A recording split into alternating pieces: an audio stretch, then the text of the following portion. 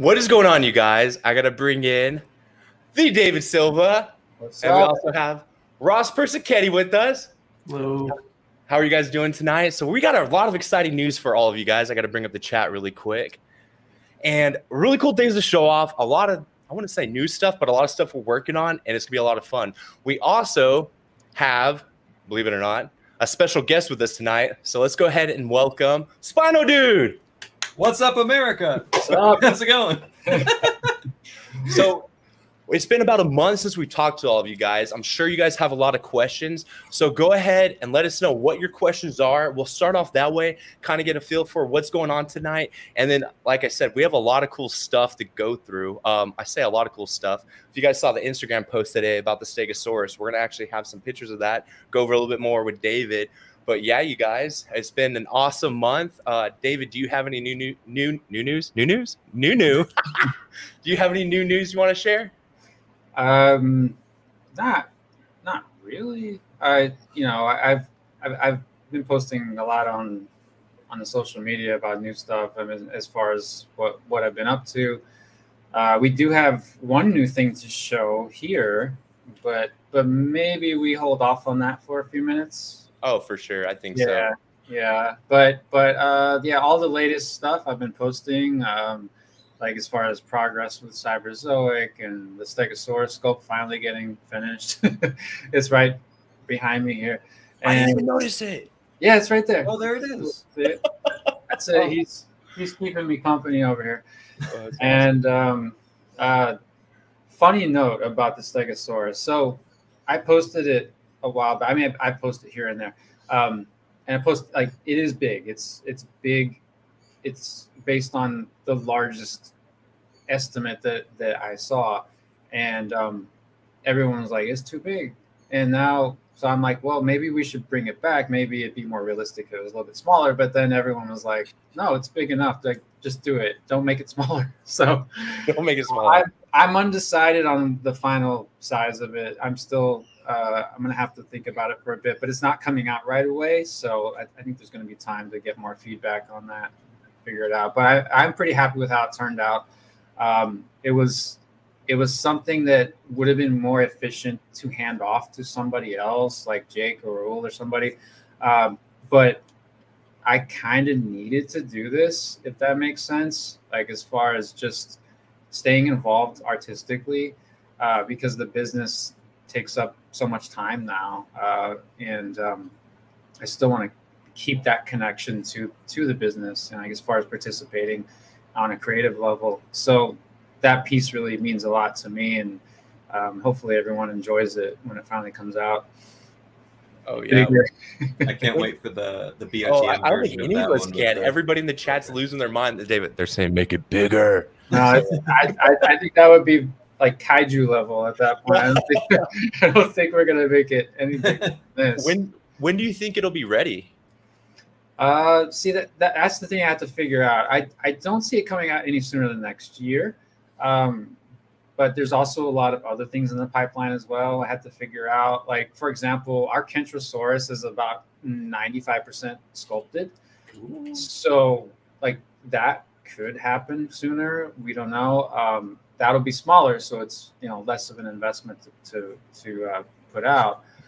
Um, we also have uh, you know the the Pachycephalosaurus that uh, sculpted, so you know we still want to try to put that somewhere.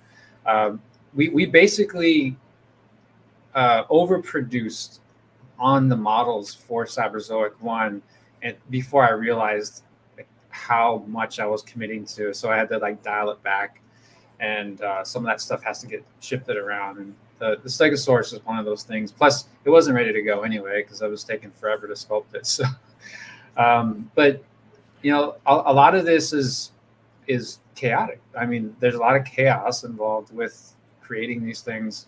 Um, like you just kind of put a lot of stuff in motion, and then we get to a certain place, uh, you have to like reassess and like think about what's realistic to move forward with at that time, and then eventually, you know, things fall into place, and um, it's it's not a bad thing to have so many pieces ready to go, uh, but one, you know, once you start thinking about like scheduling like when things hit the market, when things have to be tooled, when things have to go into production, then it starts narrowing down what is actually uh, is going to be made and when. So this is one of those things like next year at the earliest, I would say for Stegosaurus. Uh, and that's that's still really soon considering how you literally just got it done within the last month. That's insane. yeah, like I, Mhm. I I could send it to the factory tomorrow and have it out by the end of the year, but we've invested so much in all these other things already. Mhm. So like that has to be factored in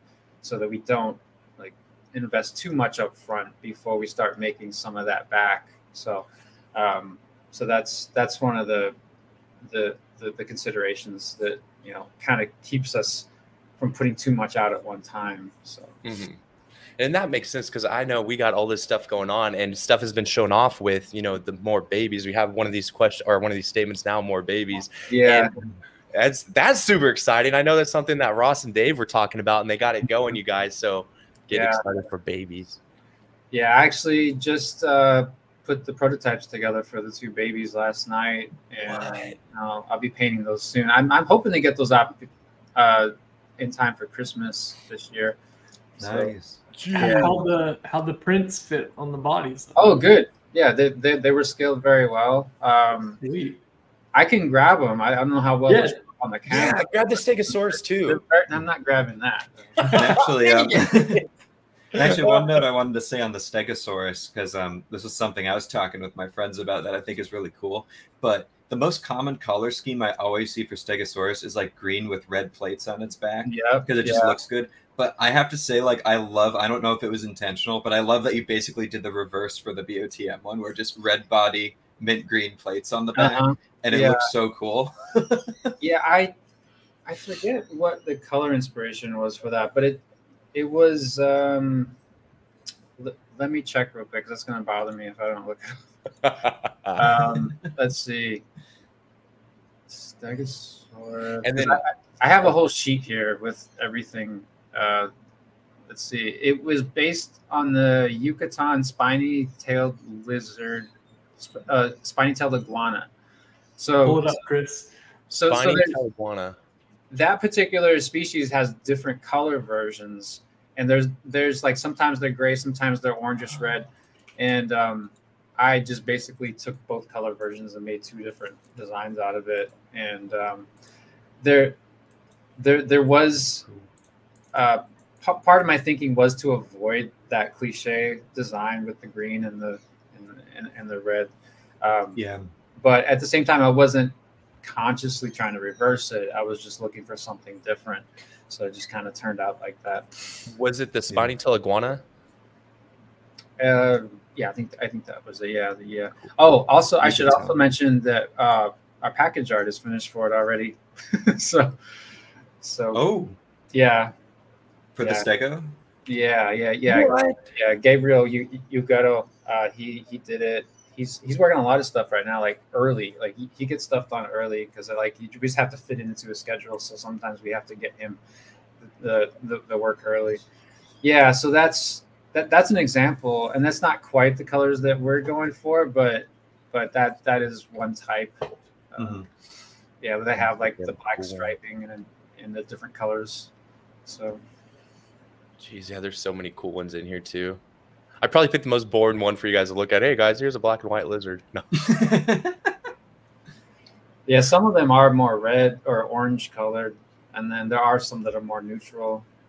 But that's the cool thing about lizards. I, you, you can look up a lot of species of lizards and find, like, depending on where they're at in their growth stage, like they might have different colors, or sometimes the regional differences depend on the, the, their colors.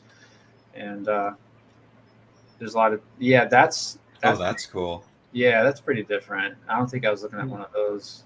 There's so like When are we gonna get a- something. Fans' choice Stegosaurus colored like an Oreo, just a white stripe down the middle. You never know. Yeah, there you go. That's pretty cool. Jeez. Yeah, there's so many cool ones. That's neat. That's cool. Jeez. Yeah. Yeah. See. Oh, where's the baby? You got the babies? Oh yeah, Yeah, yeah, I yeah. So Hey, I don't know how easy it's going to be to see, but this is this is the the, the Chasmosaurus. Put your hand Ooh. behind it when you hold it, and it'll, yeah, there we go. See if That does that help? Okay, trying to.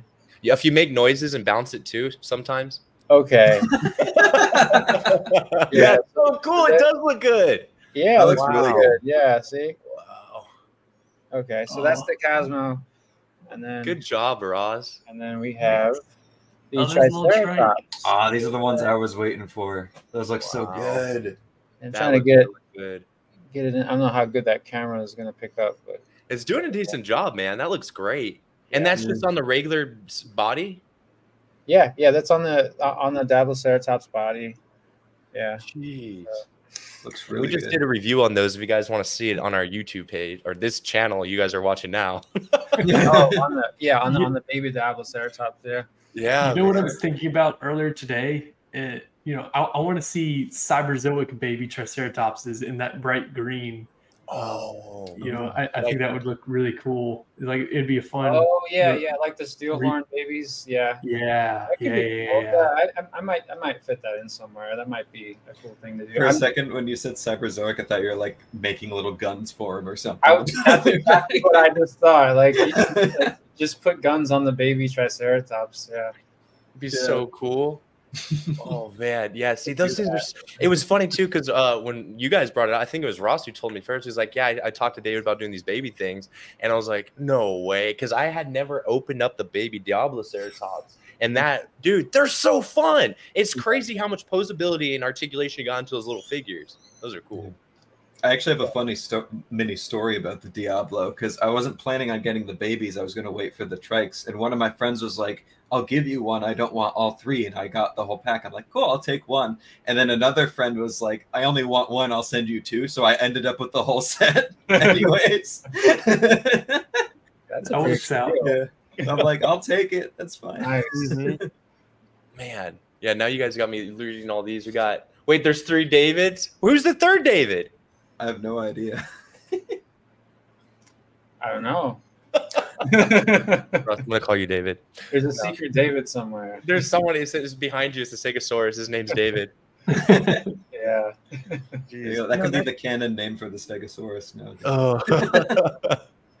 Look, I got. I want to show him this. Are you ready to show off the? uh I guess we kind of already. No, we didn't show this artwork off yet, have we, David?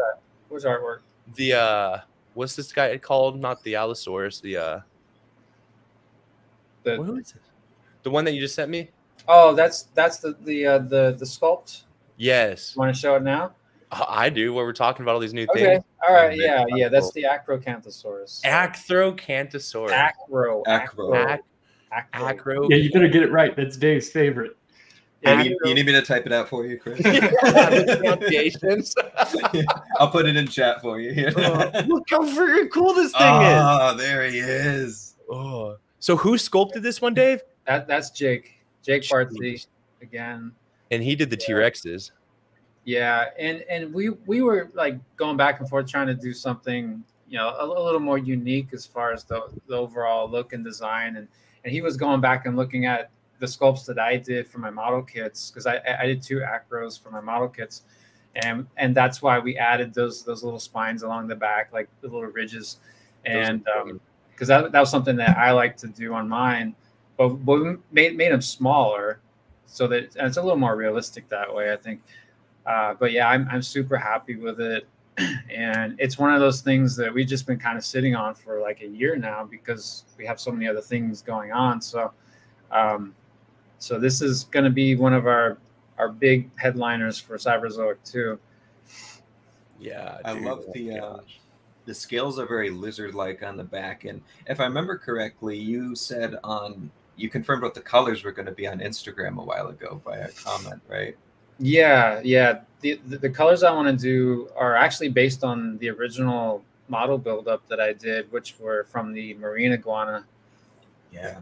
So they're like a lot of like darker kind of black colors with some reds and some oranges and just a hint of blue and then like kind of like a grayish face, you know, like I haven't done That's a gonna design for it yet. But yeah, yeah, something like that. Not not quite that much blue probably, but but yeah, something like that. Man, that's so cool. I'll never say no to blue if it sneaks its way on there. yeah, yeah, yeah. It's it, it's cool to have like little hints of blue on things, uh, especially with something like this. Like it just kind of pops the other colors so much, especially if like you have oranges in there. Yeah. Yeah, man. Yeah, yeah, something like that's pretty cool. Yeah, there's there's not a whole lot of lizards with these colors. I, I think it's really interesting. They're All right, so Chris. Now get started sculpting the Cyberzoa armor for this guy. Oh, yeah, yeah, because the armor turns into a robot Stegosaurus for some reason. But Oh, we have that on the website, don't we? Oh, Yeah. yeah, we yeah we have we have the design up. Yeah, Ross did the design. I'm gonna have to go and, look uh, for this. I, I forget what we called Cinderblade. Cinderblade. Cinder yeah, yeah, because it, it's a fire-breathing Stegosaurus robot that turns into armor for an Acrocanthosaurus, which is that whole sentence is ridiculous. But somehow we're gonna make it seem realistic. Now, is the regular Stegosaurus going to breathe fire also in the canon? No, no, Wait, No, why not? that's- No. that that's that's not possible. But this is this is possible though. oh yeah. Um, I would actually like to bring attention to a comment I just saw go by, but um, I know you did like a 135th version for the T Rex and the Triceratops before. Are you considering doing that for the other large theropods like the Acro? Yeah, yeah, I, I, I definitely do want to get back to the 135th scale. Uh, it's it's something that I think, especially for the larger figures, you know, it's it's good because people can have those species in their collection without taking up a huge amount of space and costing a lot of money. So it is something that I, I do, do want to figure out where to put that in, uh, but I, I don't I don't know how it fits in yet. Just like a lot of things, but but yeah, I do want to do it though. I I think it's important to get back to that. Yeah, that would be really cool. Because I know, especially, I remember you were talking, you want to start doing more sauropods and stuff, and I think Oh, yeah. going to be a must for that. Right? Yeah, well, that's that. That was the whole reason I started doing the 135th scale was because I want to eventually get to the sauropods and do like these huge hundred foot long species. You know, like you can't like at one 118th scale. I know there's gonna be somebody who tells me they'll buy it, but you know, at, at the end of the day, I'm right here. I'm right Uh, here. yeah. like you know i mean you, you see how big the jurassic world ones are and like like if i put something like that out at that size with all the articulation and the paint apps and everything i mean it's gonna like triple the price probably. So it's not very feasible for a lot of people. But Well, I 130 know, um, works well. I know I've said like I would buy just like one 118th scale Argentinosaurus or something, just like the biggest one possible. Yeah. It's a centerpiece, but yeah well, well chris be and i have, have talked about doing something like that like like the, the logistics of how that would work but and the biggest issue um, isn't necessarily like funding it it's storing it Mhm. and Yeah. because it'll be like it'll be a big box and they're not going to move that fast because they'll be expensive. And you know you end up paying a lot for storage fees at that point because it's such such a big thing and the demand's going to be lower because it's probably going to be like 300 plus dollars for something that size. Um, and a lot of people aren't going to be able to do that or have the space for it for that matter. So um, as cool as that would be you know, unless I have like distribution like sideshow or something like that, it's it's going to be really hard to pull off. So, Yeah. um, you know, may, maybe you know if things keep going in the right direction, and we get to the point where we can do something like that, and we have more distribution and more warehouse space and things like that, it might be possible.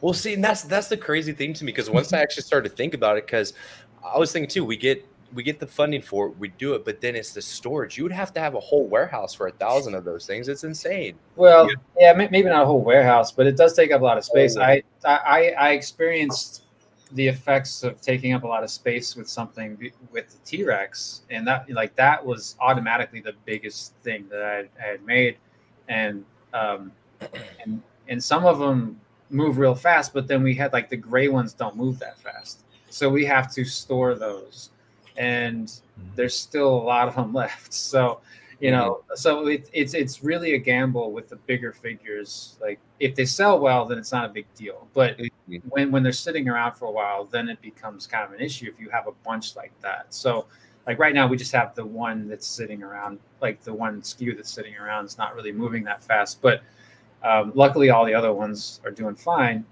It's just um, like when you have something that big, it's it's a bit more risky as to compared to like doing a smaller type of thing. Like if it's Yeah. like we're storing like the one six scale Raptors, the one thirty fifth scale T Rex or something. It's not that big of a deal. Yeah. I assume uh, also like shipping those overseas from the factories and stuff is also uh, a task in itself. well, well, the the only places that I ship to from the factory are China, Hong Kong, and Taiwan. Everywhere else is too expensive to ship to. Surprisingly, even though they're like closer proximity, like like say Singapore, Philippines, or something like that, Taiwan.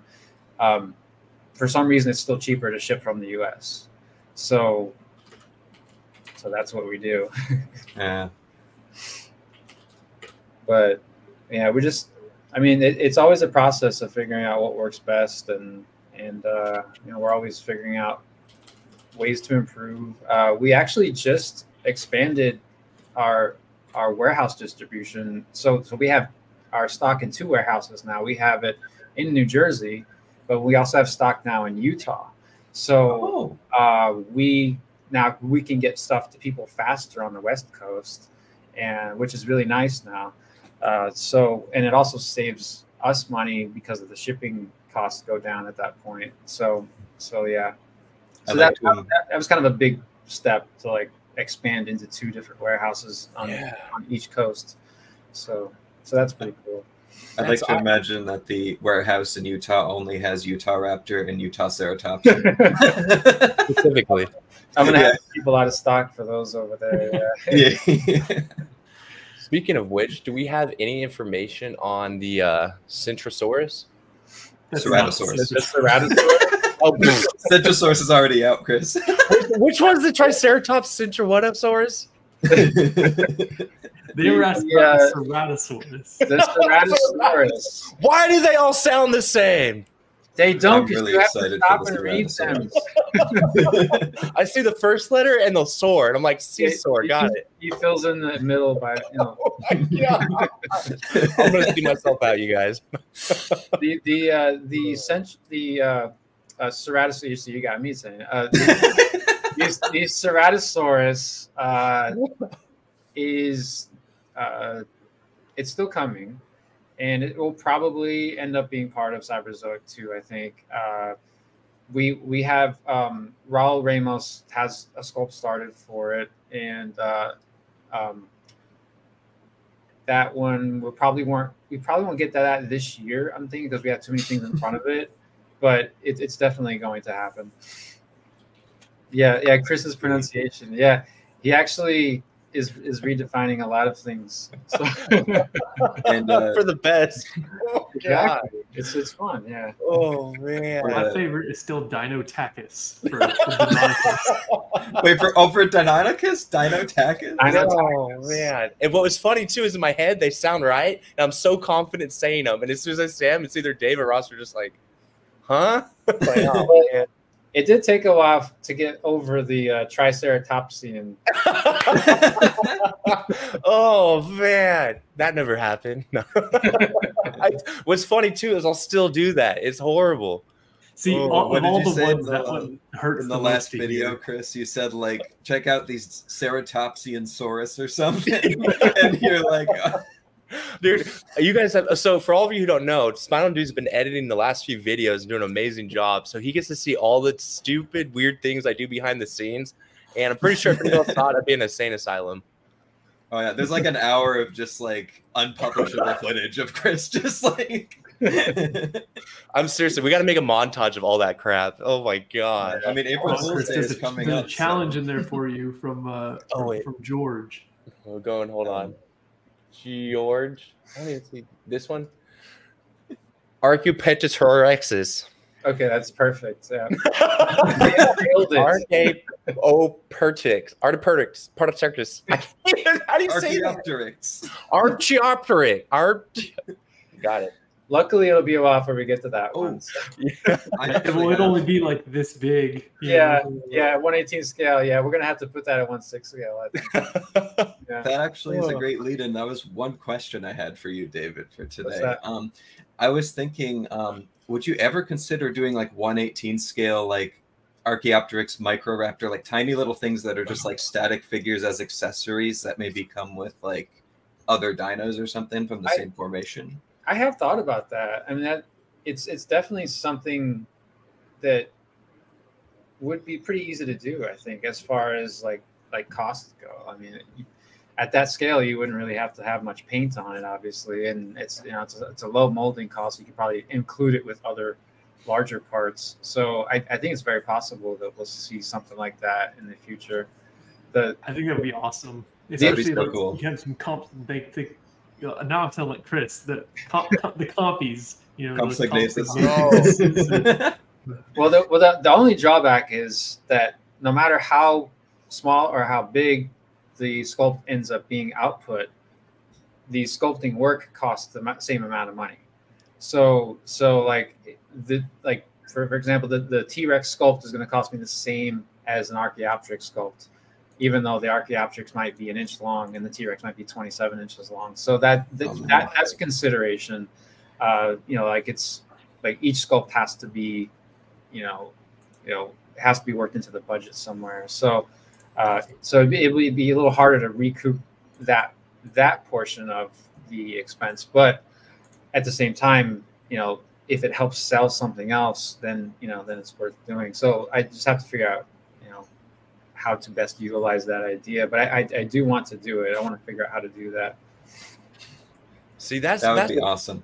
Well, that's what blows my mind is how much the tooling is. That's crazy because you don't think about these things. Like as a consumer, you know, we buy these things, we think they're awesome, but you don't realize how much goes into actually getting the figure to us and all the hurdles and then the cost of everything. I think that's the crazy yeah. thing. And that's about- okay. I mean, yeah. that's like to, to me, I, I find all that very interesting. Like I'm like ever since I've been doing the, this this side of the business, I've become more interested in finding out about all the other businesses that came before, like like what was going on with Mattel and Hasbro when I was a kid. You know, like why did they put this out and not this, and why did this not come out? And you know, like just learning more about uh, the business is it's becoming as interesting to me as learning more about the stories of the mm-hmm. characters and, and the worlds. So you know, like having interest in all of it, I think helps me with what I'm doing. Mm-hmm. That's so yeah. I don't even think about that. It's crazy. So, are you enjoying the business side as much as you do the artistic side of it? Not as much, but but um, I I do find it interesting. I yeah. I I wouldn't mind handing a lot of it off, but I'm not at that stage yet. So, uh, so yeah, I I eventually do want to get to a point where I'm more involved with the creative part and the creative process because when we started off doing this, I was doing all of that. And mm-hmm. now, you know, if we're going to grow, I have to delegate a lot of that to other people, uh, preferably people that can do it better than me. Yes. And and um, I, I think that's been working pretty well so far. But I I never want to leave the creative part of the business, even if even if it's inefficient, like the Stegosaurus, it was inefficient for me to to take that on, but I kind of needed it for uh, just the, for the, sake of not being burnt out and just having an involvement on the creative side instead of just like abandoning it altogether. So mm-hmm. I always want to be sculpting something. And after this, I told you, Chris, I'm sculpting a dragon after this. I'm so excited. Yeah. yeah. And like that'll be cool because the last time I sculpted a dragon was that Arctic Dragon model kit, and that wasn't even articulated. So how long how long ago was that that you did that kit? I want to say 2015. Wow, it's almost been a decade. Whoa. I, I could be wrong, but I yeah. think it was around that time. Yeah, I mean, I wasn't even thinking about making my own action figures back then. I I felt like like all I could do was do model kits. So mm-hmm. um, so that's what I was pushing that's great. So how did you? So that's a question for me or to you is how did you get into doing the actual action figures with the Raptors? What pushed you to make them action figures instead of doing model kits? Um, well, I I, I kind of played around with the idea of having them be action figures uh, early on. I mean, a lot of like very few people probably remember this, but there was there were a line of model kits that were posable and they were kind of stylized. They were they were uh, I, I did a Velociraptor and I did an Oviraptor, and I put them out in a bunch of different colors, and they were just resin castings. They weren't like mass produced or anything, and um, they were meant to be like you, you would just they were simple ball joints. You plug it into each other, and um, they they worked to some degree, but because each casting was slightly different, you, like a lot of times you had to kind of finagle it a bit and adjust it. But um, that was the beginning of me exploring this idea of articulated dinosaurs, and then there were some potential opportunities that were coming up within the, the toy companies I was working with, but they kept getting shot down at some stage. And that's when I just decided, well, why don't I just try to do it myself? Uh, because that's around the time the Kickstarter uh, uh, action figures were starting to become a thing, like with Four Horsemen and Boss Fight Studio. And um, I I didn't know what to expect. I just went at it with you know the best thing I could think of, and uh, you know that's where everything started with the Raptor series. So. Um, That's Which one is that? No, sorry, I just saw someone mention my mascot in chat, Dangs Fish, so I had to flash him up. Oh, that's There cool. Someone uh 3D printed him custom for me. It's a little you- Dunkleosteus with the cowboy That's hat super on. cool. Yeah, I don't think I've seen that. Is, is, is that something that you designed? Uh, yep. So um, it was a character that just kind of became like a channel meme, and um, I had a T-shirt design made for this for one like a month that went around, and then a friend of mine 3D printed this for me and sent That's it over. that's so- really cool. I want to do a Dunkleosteus at some point. I think that'd be really neat. Yeah, that's another thing I was actually going to ask is like thoughts on marine reptiles and pterosaurs. I know like pterosaurs engineering wise, if you want to have them like perched and flying, I don't know if you had any ideas for like the wings on that, but marine reptiles seem like they could be pretty doable with a stand. Or Yeah. something. Yeah, yeah, I, I think it's all doable. The the the uh, pterosaurs have come up here before, and I the the idea that I have in mind right now is that like to have articulated wings, but also have an option for uh, interchangeable folded up wings for like walking poses because there's there's a point where the articulated wings don't look right when it's in a walking pose. I mean, you, it, it's kind of okay in a lot of cases, but if you really want to get like all the wrinkles and like folds and everything, like you can have like the swappable folded up arms. I think would, would, look nicer. Uh, yeah. But uh, that's that's where I'm at with it right now when I'm thinking about it. So um, I, I think it's a little ways off because we have so many other things in front of that. But uh, there's really an endless number of uh, of ideas right now, or at any time really. Um, yeah. I didn't answer that last question. Let I me go back to it. to that, yeah. It yeah, I was. was curious about the answer to that one. I was too. Yeah. Hold Yeah, on. me It as well. Dave. I, I kept meaning to answer, but we were talking about all the other things. So Dude, Give me one sec. It was basically said, Dave, what's your favorite figure you've made? Oh, so that's the Otachi, I think. I mean, as far as like like for other companies, uh, the Otachi. Um, I'm so jealous, Ross. Th- uh, this one is, you can still get on Amazon. NECA is selling them for a little bit more than they originally went for on Amazon. You can still get it. Mhm. Um, really? Yeah. Yeah. Yeah. Um, I might just buy it right now.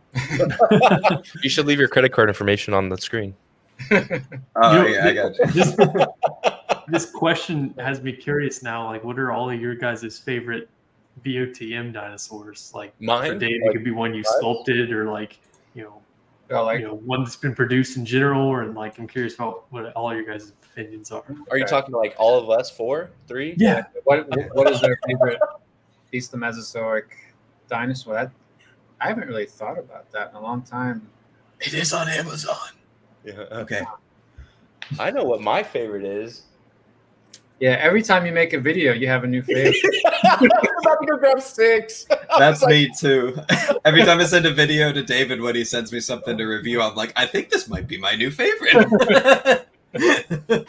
I'm looking Um, around and trying to figure out what mine is. I think it's Well- definitely a ceratopsian. just because Triceratopsian? Triceratopsian. Yeah, Well, that's the problem. So uh, you don't realize how cool they are. Even these dinosaurs I haven't heard about. Every time I open a box, I'm always blown away, and it's a, it's kind of frustrating because uh, my favorite ones I'll put in the center of the like shelves, and then I always have to like scoot them out every time I open a new one. I push them out a little bit more. Mm. Nice. Oh, the Torosaurus. yeah. Yeah. Yeah, this I like one is that just such a statement piece. Like, um, you wouldn't have- think of just making something this bright blue that's this big, Yeah. and I just love it. yeah. if anyone So is, cool. is a Power Rangers fan, displaying the Blue Ranger next to the Torosaurus looks Oh awesome. yeah, 'cause it- yeah, because it's a it's a blue Triceratops. Yeah. yeah. and then Yeah. same with the T Rex, and then the uh, the uh, uh, saber tooth tiger. Yeah, I was about to say. Kickstarter exclusive is going to be perfect for the you know Yellow Ranger. So Russ, now we just need a green dragon and a, a big old mastodon. Dave. yes. Okay. Ross, where's your Power Rangers? Are they with your dinosaurs? They're uh, they were, but now they're in like a cool like Oh, you nice little stage. uh, you, yeah.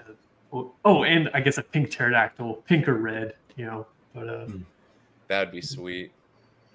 By the way, finished out the the the beast of Power Rangers. Acrocanthosaurus. Is anybody designing the ath or not designing, sculpting the Acrocanthosaurus armor yet? There, there is no Athrocanthosaurus. Acrocanthosaurus. We have one of those There coming. is,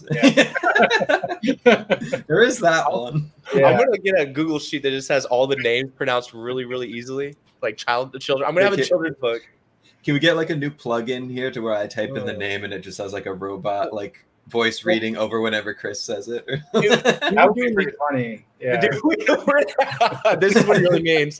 Be, like it was funny because we are doing the uh the new thing we're doing for every Monday. We're gonna be releasing a short of a dinosaur, and it was funny because SpinoDude had the name pronunciated pronunciation down there with these hyphens between or whatever, so I could see it so easily. I didn't even notice it. I read the whole thing like twenty times, and on camera you hear me go "mother effer." I go, "It's Yeah. right here." Oh, I literally told you like twice. I'm like, I have a pronunciation guide for you right at the bottom, Chris. you gotta ask Ross about how bad I am about that. Yeah. No, oh my goodness, I don't remember what happened or what I said. Okay, I remember exactly what it was. All right, listen to this. Chris sent me something. It was a drawing, and I was like, I- I forget what he was asking me about. He was asking for some help or something. I gave him a tip. All right, and then I sent a voice message with this. So I drew it out. I wrote on it, and it's labeled because I found a drawing off the internet that showed what I was trying to communicate, and I wrote, "This is not my drawing." I sent that along with a voice message in which inside me explaining everything said this it wasn't my drawing i just took it off the internet and his first response was how did you draw that so quickly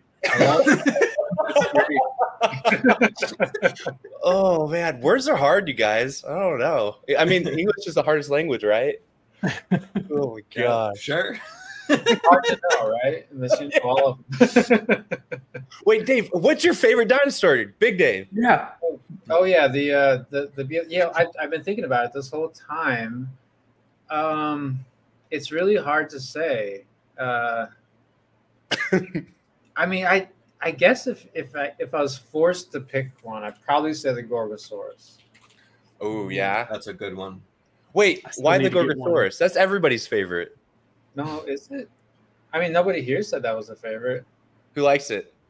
Your favorite, I- I no, gotten your, your new favorite is the Diabloceratops. You said so.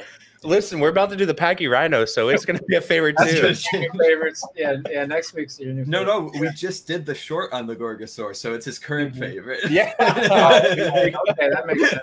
now, yeah. yeah. There you go. Uh, listen, I'm gonna have to get my own channel where I don't get roasted here. What is this? No, Chris's corner. I start like steaming. No. Oh man. Pentaceratops. Sorry, now I'm reading all these. Yeah. Perm- oh, I I posted this. I was like, oh, someone said it. While we're on the Oh. topic of Chris pronunciation, I'm gonna put it in chat. But Chris, can Oh, you kind of man. pronounce this dinosaur name quick? I'm Let's just curious. We got uh we got a few more questions in here. Oh, what is this? What is a giga? Who is this? Do we have? We don't have one of these. A giga? Oh, Oh, a giant raptor. Gigantoraptor. Gigantoraptor. No, we don't have one of those, uh, Hmm. and I haven't really researched it. So How many raptors are there? I feel like I learn I there's a new one every I- stream. Oh, that that one's not a dromaeosaur. I'm pretty sure that's that's- Gigantoraptor is a huge oviraptor. So yeah, yeah, Yeah. That that one. Okay, yeah, I, I have seen. I, it's a very big thing. Yeah, that that one. We're gonna do Oviraptor Okay. first. Yeah, and then maybe the Gigantoraptor. But there, there, there there's a lot of non-dromaeosaurs with raptor in the name. It gets very uh, confusing sometimes. I all guess these names scientists are very just think it sounds cool. Megaraptor, Mega raptor. Gigantoraptor. um, there's got to be other. Hi, Harib. Wait, SpinoDude, did you figure out what your favorite was? oh, um, yeah, the, I think the Torosaurus. If I had to pick one, Oh, okay. but um, Gotcha. I think for just like for the whole experience of just like articulating and posing and stuff, I gotta hand it to it's like a tie between the Qianzhousaurus and the Alectrosaurus because that Mm. whole kit with the the stand and the pegged feet and just that body size with the range of motion on everything is so much fun. I have so much fun with both of those all the time. Um, I actually hope we get more theropods with that those body parts because I will get them. Uh, we we'll, we'll we'll do an Ali Ram Alioramus. Yeah. Ooh, Yeah, yeah, we actually have some armor designs for that. It's going to be part of the Desert Clan. So oh sweet. yeah, so that is a thing. I've already talked to Jake about that one, um, but I do want to use that body again if I can. I think it, it works really well. So Is that the like It's awesome. the meat eating dinosaur guy? yeah, it's it's actually very similar to the uh, Alectrosaurus. It's, Okay, yeah. I'm trying to find a good picture of him. Yeah. There's so many pictures without lips for Ross, but I don't want to say that. Man. It'd be cool to. It'd be cool too, maybe as a little hint, hint, wink, wink. Maybe get a green Tyrannosaur too, because I don't think we have any green ones, dude. No, the the Alberto. I'm Well- an idiot. Sorry. The, the Cyberzoic one was planned to be green, right? it was it was an idea. I mean that that was in part of the concept art, but I haven't settled on a color scheme for that one yet. There's Yeah. so many cool dinos. That's pretty cool illustrated. I, I like those colors. That's pretty. I know. I saw the Yeah, blue one. I was that's like, him.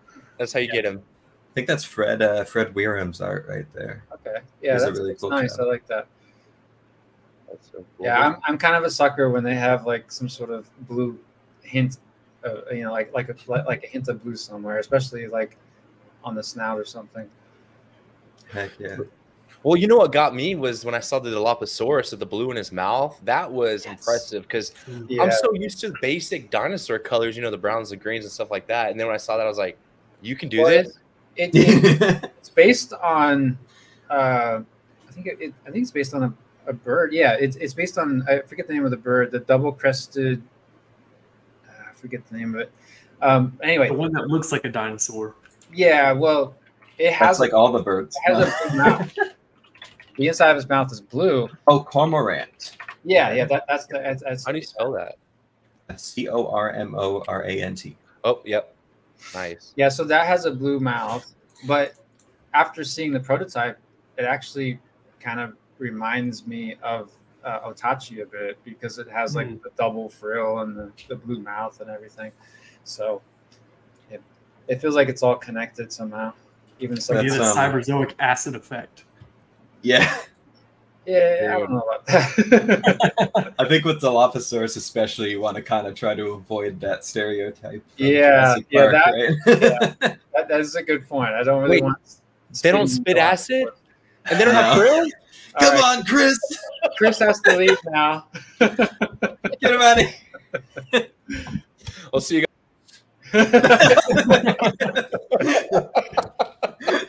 oh man! By the way, I found this bird. Looks pretty cool. It's some it's some cool feathers there. And uh, my my friend Eric in the chat actually has an interesting fact I didn't know. He said, "Did you know cormorants don't have nostrils? They all breathe through their mouth. What? That's wild." Mouth feathers. That's why they leave their mouth open. Mm. I wonder if that's why their their mouth is blue on the inside. Like all that oxygen. I don't know. I'm just making stuff up. I don't know. Wait, why is this so big? Hold on, I gotta Sounds find like it. something Chris would say. Yeah. You've been hanging out with me too much, Dave. I found this cool picture, but it's not pulling it up. Well, hey, Ross didn't tell us his favorite BO. Yeah, Ross. Oh, um, I guess it's it's uh it's between two um uh, ceratopsians. It's either the Pachyrhinosaurus or the uh, it's the Xenoceratops, right? It's the same body. Uh-huh. Yeah. Yeah, Yeah, the yellow. between those two, um, just the the the size, the sculpt, the Mhm. level articulation, like uh, the paint, both of those are kind of like at the top, which is Yeah, mine- surprising because I'd expect a carnivore to be in my top top uh, list, but Yeah, I, I really like that Pachyrhinosaurus too. I actually prefer the original colors more more so. oh, I I I, have, I'm, I like the fans' choice more. That's Oh, the one do? I'm talking about. yeah. I I, mean, did just, too. to be They're perfectly really honest, good, I, I kind of struggled with uh, turning that like that uh, walking with dinosaurs design into a BOTM figure, and and I, I was I didn't feel like there was a lot to work with there, so I What up, you Chris? I almost kind of reinvented it. Well, it's you know what's crazy is now that we're talking about these color schemes, Dave. I've noticed there's blue on a lot of these guys, and it's now it's gonna be my little hunt in all these little videos. Where's the blue? yeah, Because blue- like, it's the lack of oxygen. yeah, okay. Also, That's it. Does everybody Also- have an open one? Yep. yes, Dave, where's yours? Uh, it, it's it's it's hard to get to. I'm, Oh, I don't have one readily available. Jeez. Oh, this is a great idea. An art book with everything in it. Oh yeah, that'd actually, be cool. I really do want to do that. That's that's on the uh, figure out list. um, yeah, right now all the book resources are being taken up by the comic book uh, stuff, but but yeah, I I think we, we we have a lot of artwork we could use, and So much. when That- when we do put a book out, I, I want to be able to like have write ups and you know explanations and processes and things like that. I, I don't want it to just be a bunch of images. Like you know, I want it to be something more interesting. So once we you know have space for that, we'll we'll, we'll, we'll definitely get to that. So, See, that's that's what I'm excited for because I know we talked about that, but I think that's the coolest idea because like I'm a huge fan of Monster Hunter and so is uh SpinoDude, and those those art books are so cool. Mhm. yeah, I have at least one of those art books, maybe two. I can't remember. Just don't show Ross if you try to do any drawings from him. Uh, man, speaking of which, Hey, we have hey, a when- when's Creative Beast getting the, the Monster Hunter license? Come on. That's not for me. I I, I think Bandai's doing a very good job with it. So Oh yeah, with the the page. the, the only the only interest I have in licenses is if nobody else is handling it well or doing it at all. So, um, like there's very few things that I would even be somewhat interested in, and I think the top of the list right now is Primal Rage. Does it just feel like that's a good fit for us if we were to do something, and nobody's touching it for some reason? I, I'm kind of surprised. I'm but- so surprised. I want to actually see how hard it would be to get something like that. By the I, way, I, you know, I, I, I bet within a few months someone's going to announce that they have it. you really think us? no, not us. No, no, I'm not talking about. No, we're years away from doing something like that. So there's a good chance someone else will pick it up before that. But I'm just saying, like, just you know, just just talking, like that would be of the most interest to me if I were to pick something right now. Oh yeah, I love Primal Rage. We got Ross turned on to that when we went to PowerCon, and he didn't realize how cool. Here's, here it is, the Robotech question. Okay, Yes. so I got um, we keep forgetting to answer the Robotech question. My thoughts on Robotech are minimal because I don't have any Robotech toys.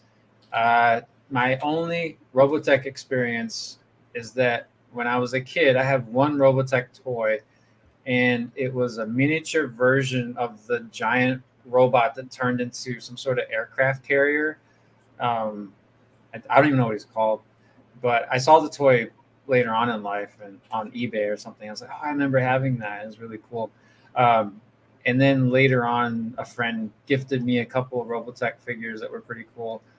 Um, yeah, so that that I mean, I I think it, there's a lot of cool stuff. uh, with Robotech. I've seen a lot of cool artwork. They have a lot of cool toys. Um, the cartoon looks cool. It's just, it. I just didn't get into it. I just missed it for some reason because I was I was doing the He-Man and the Transformers and the Ninja Turtles and the Mask and whatever else there was. So you know, something got left behind. All the cool stuff. Speaking of Transformers and Ninja Turtles, did you see that crossover that just got revealed today? Yeah, yeah, I thought that was pretty cool. I'm I I'm I'm on the fence about getting it just because I'm trying not to buy too many Transformers these days. Yeah, and I think it's like fifty bucks, which is you know, I guess the, all, I think it's all the crossovers are a little steeply priced, but uh, Yeah, yeah, they probably like they, what they have. Well, it's not double license. There was just one license to that, so because they own Transformers. So yeah, I don't know. I, I I'm at the point now where I'm really trying to cherry pick.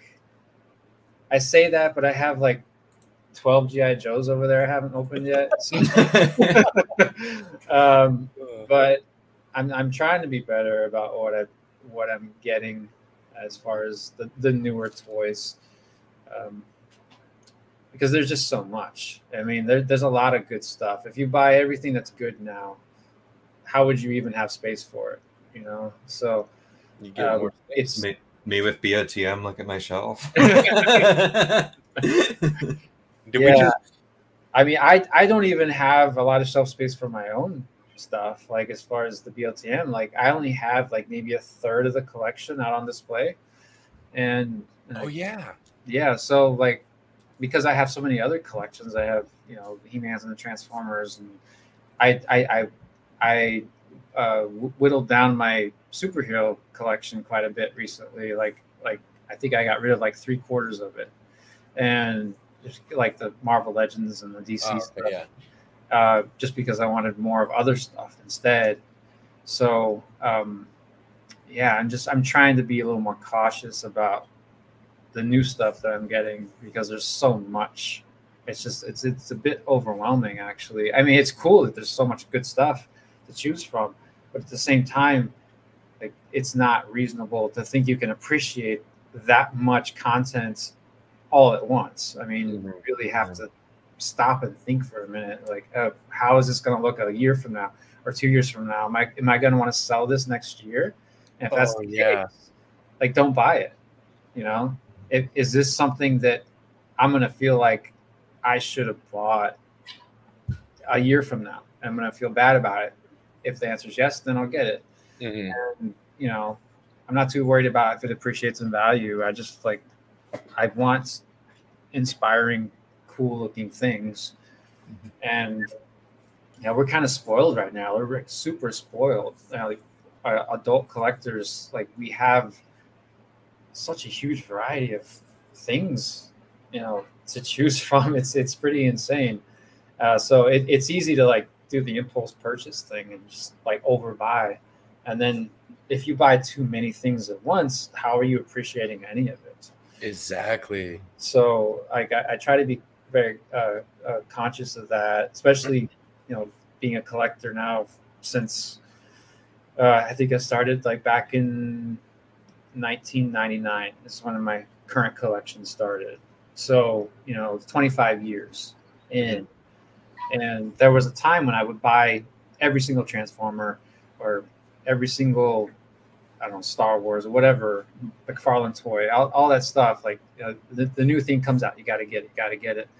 And as I keep going, I realize like how much of that is unnecessary because there's a lot of that that I had to sell off. There's a lot of it I had to give away, and you're only left with certain portion of it.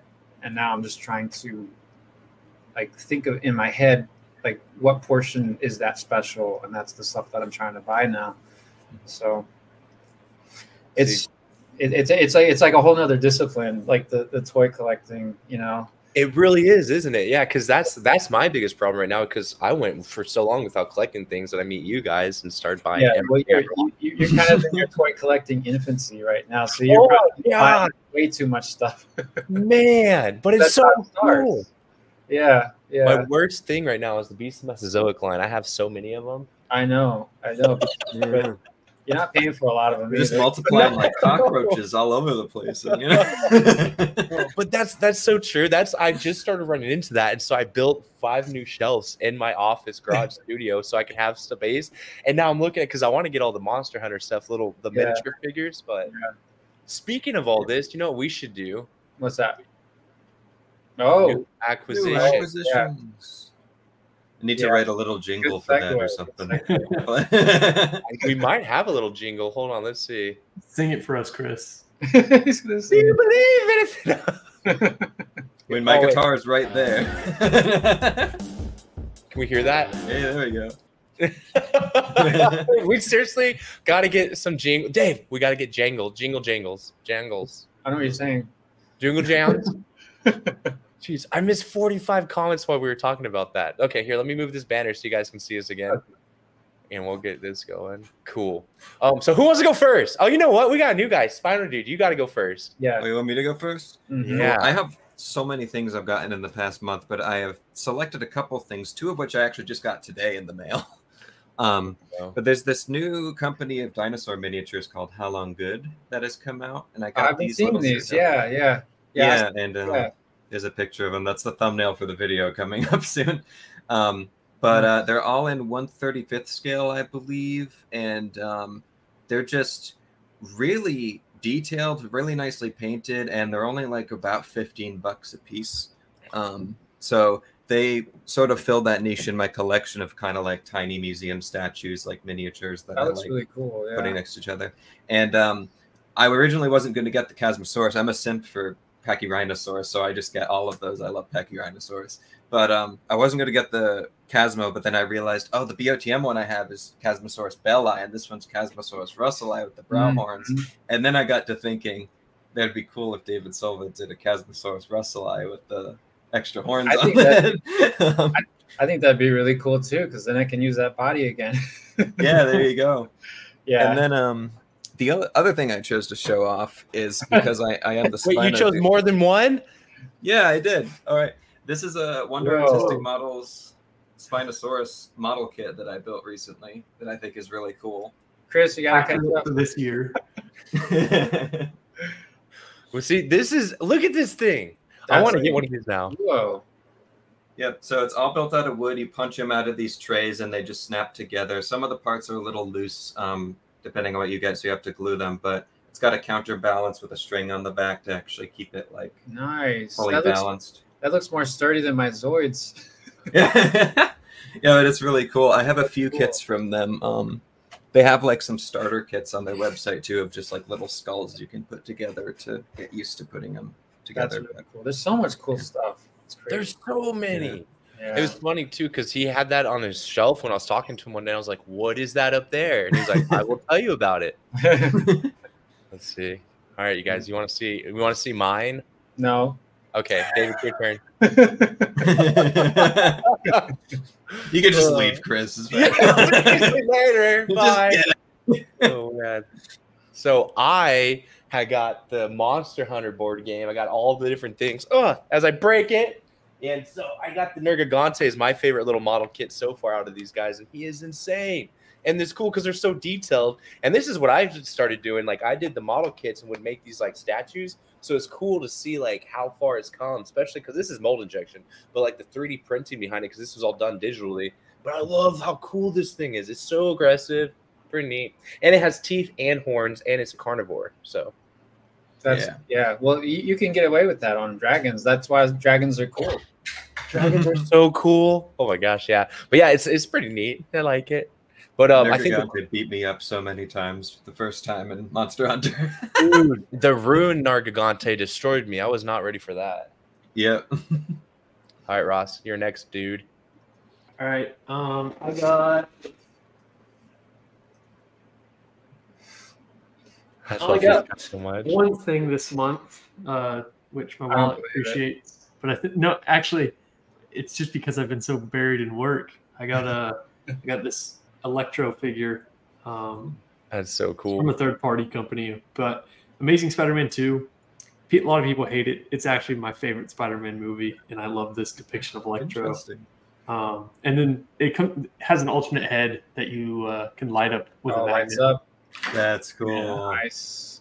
So uh, That's it comes neat. like lightning effects and stuff. I'm, I'm just building out my uh, Spider-Man villain dis- movie villain display. I can hear So, his theme song blaring just looking at him. Like uh, yeah, that whole The- the- sequence is great. the, the score for that movie is pretty incredible. Um, Yeah, I, I actually have the score for that movie. Yeah, yeah, What? yeah. It's, it, I, I think it's a pretty decent movie. I, I think I, I like it better than the one before it, which yeah, I- definitely. which most Mhm. people seem to like better. I think I Um, agree with that. And I, I think it's a shame that we never got that Rhino design as an action figure. I know. Yeah, Hot Toys of all companies to do it, Hot Toys had one. A Yeah, they had the prototype. Yeah, I saw. Um, Yeah, it- and, uh, it's probably a good move on their part not to put it out because if that if that failed, that would have been a huge loss. yeah. that, that thing was humongous. That I, looks. I so- desperately want a, a 112th scale figure of it. And it's one of those things that's on my never ending list of projects that I'd like to just do for fun for myself. But yeah. in, in all you know likelihood, I'll never get to it. Mhm. Well, you can dream. I, I'm Yeah. sure there's probably there's probably a 3D file online you could print out at this point. Oh, I wow. guarantee there is. But yeah, that that design to me is really cool. See, I never cared for the real Rhino design from the Spider-Man universe, and I even sculpted a figure of Rhino when I was at, at Hasbro, and um, I mean, I, I I thought it turned out fine, but when I saw this design, I was like, that's really cool because it's kind of like a Zord, and, Yeah. and it's but but it's like more hodgepodgey, kind of like Iron Man Mark One, you know, and Yeah. and it's it's it's a, it's a, it's an interesting thing. I, I have no connection to the character, so I don't care if they change them. But I think just on its own, it's a cool looking thing, and it's a shame that we never got any type of figure from this. Mm-hmm. Well, like I his head um, and his neck are so neat looking. Yeah, yeah, I think it's, this one it's- it's- and the um, the Rhino from the Spider-Man PlayStation games. Those designs are both really cool. They both go for different things, but I think for more of like the man in a suit design, Hmm. this video game has some really cool textural elements. I haven't seen it. the one from the game. I, I'm only familiar with this one. yeah, neither have I. I'm interested to see what he looks like in the Yeah. new Kraven movie that's supposed to come out this year. Uh, are they really doing that? Is that coming Yeah. out still? yeah, Yeah, there he is from the game. Oh, that's cool. pretty cool. Yeah, he looks pretty cool. Okay, yeah, yeah. See that that kind of thing, like like it's it's more like an Iron Man suit at that point, and like in the comics and in the cartoons and stuff, he was like kind of wearing a Halloween costume. Is what it looked like, and I couldn't take it seriously. But when it's like all teched out and it looks like there's like a power source or whatever, like it actually is more intimidating. Like he's more of a machine. I think Yeah. that's it's a cooler thing. Yeah, that's actually a pretty cool design. I like that. Yeah, Mhm. they also um this game also had my favorite design for the lizard. Um they did a really cool like Godzilla looking thing. For Oh him. yeah, Yeah. He looked sweet. yeah. The li- the lizard's kind of hit and miss for me. Sometimes I really like the, the designs, and sometimes like like the like the Amazing Spider-Man design. I didn't care for it. It's just I You didn't like know- that one. The, so the, the Amazing Spider-Man design I never liked and I was always against, but within the last few months or so, I've kind of grown to really appreciate it. Uh, I don't know. Oh, there's See, Venom. I hate that Venom. Get that out of here, Chris. You know I hate it. oh, that Venom's awesome though. Come I on. I hate it. That's so funny. Look how cool he is, though. big he is. No. He's, he's not big enough. his eyes big enough. wrong, his jaw's wrong, his size is How much- wrong. Bigger tongue and bigger muscles. No. Oh, he Look looks cool. gross that looks. More It's just teeth. Awful. okay, well, okay. One one thing we have to agree on though is it's better than the movie version from Sony. Uh, I I, so I- I don't know about characterization, but just on design, I'd say they're pretty equal. Uh, Okay, fair. just in my, I, I like the classic Venom. He shouldn't be that tall. He should be like six three, six you like the, uh, the the old McFarlane style Venom? yeah, yeah. really It- reserved. it's um, cool. I actually like most versions of Venom. I usually don't really have a preference personally. Um, he's usually cool no matter what. Yeah. But they're they're all pretty good. I remember when, when I was a kid, I, my first experience was the McFarlane Venom, and I thought he was the coolest character I'd ever seen when I saw him. and Yeah. I, I was drawing him.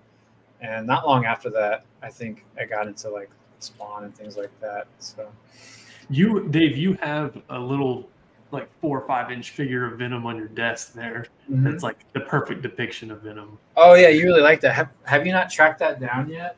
No, I haven't. I Um, want to see this.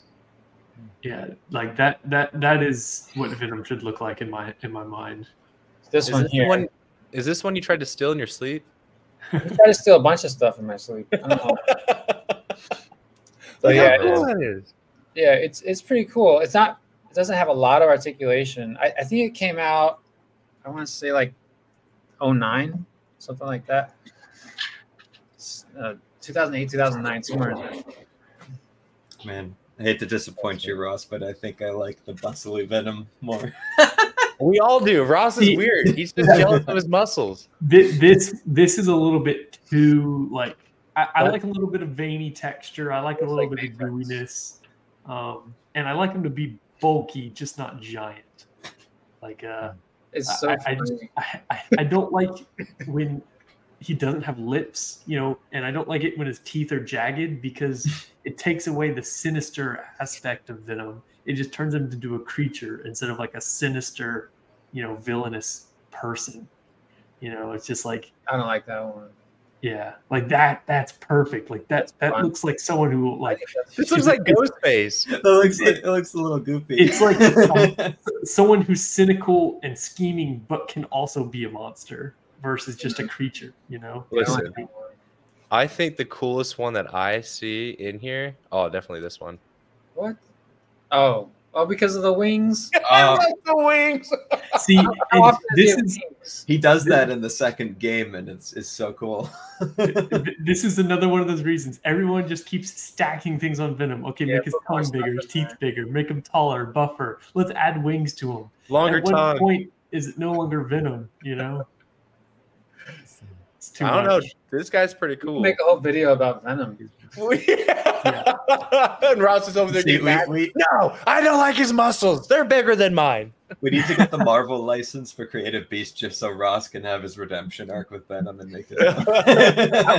I would make the most muscular Venom just for yes, make, make it 118 Make him- scale and bigger than the T We'll Rex. all the teeth and all the tongue and all the No. slobber and the big Uh. claws. And See, oh, see, that's that's the worst one I've seen. Look at that stupid face. Like it, it's not even Yeah, I a person anymore. yeah, Listen, I can do this all day, Ross. totally well, until your Oh. computer crashes with the layer of images you put in. Oh my god. Well, speaking of which, we still got to do Dave's. Dave's. uh, What is it called? Articulation, acquisition. Acqui- New acquisition. How articulated Well, I- are you? I sense. Just get out of here, Chris. Now. I think I, I sent Chris several acquisitions, but he's like, we should we should only show one. Yeah. Because cheated, Chris you was can afraid show I might have something cooler than him. Uh, yeah, we're gonna have to do all of yours. I can, you know what's funny, Dave, is I actually kept all yours just in case that scenario happens, so we can go through all of these. Okay. you lied to us. oh my gosh! So we're gonna do these guys first, and we'll go to the other ones because I think these these are so fun. Yeah. Um, I was at a toy show recently, and there was a vendor there that was selling old garbage pail kids, and I I have th- this is this is my old uh, collection of garbage pail kids. I have them all in a binder, and it's one of the two things that survived my childhood with my garbage pail kids and my animal encyclopedia, and everything else is gone.